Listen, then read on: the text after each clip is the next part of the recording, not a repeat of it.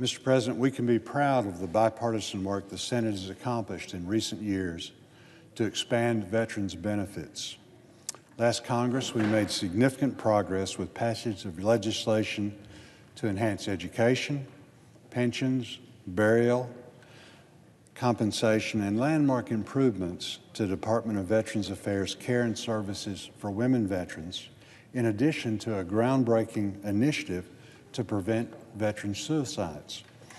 I'm hopeful we can use this momentum to continue turning legislation into law to ensure we fulfill the promise our country made to the men and women who serve in uniform as well as their families. We know too many veterans are being left behind because of current VA policies that prohibit them from accessing benefits and health care services they have earned.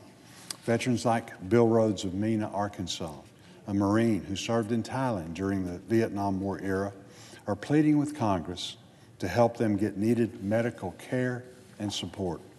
After, after developing illnesses linked to herbicide exposure, Mr. Rhodes turned to the VA for help. His claim was denied. He did his homework. He spent time looking for documentation to support his claim and realized this is a problem that needs a legislative fix because the department's policies limit benefits for Vietnam War era for Thailand service. I'm proud to join with my colleague and chairman of the Senate Committee on Veterans Affairs, Senator Tester, to introduce legislation to help Mr. Rhodes and veterans like him who were exposed to Agent Orange and other herbicides while serving in Thailand during the Vietnam War. The VA accepts that herbicides were used on fenced-in perimeters of military bases in Thailand, but its current policy is too restrictive. Among other things, it prohibits veterans who worked in security-related specialties.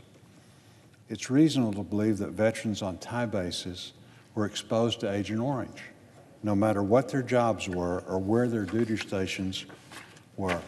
In an article published in the Dayton Daily News, one veteran who served in Thailand said his barracks were along the perimeter, and at the time of the interview, he still hadn't received benefits for his VA claim. The arbitrary limits on consideration of a veteran's claim of toxic exposure are simply wrong. These misguided technicalities and bureaucratic hurdles need to be addressed. Our bill would eliminate the unreasonable burden placed on veterans to prove toxic exposure. No veteran should be denied benefits due to red tape.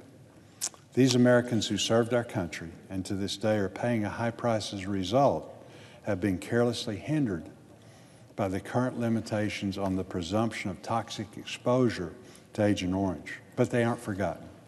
We have an obligation to ensure they get the benefits they are, they are due, and I'm committed to supporting their cause. I appreciate the determination and tireless effort of Mr. Rhodes. He said this legislation gives him some hope, but he won't be proud of his work until the bill is passed. I encourage my colleagues to support our legislation.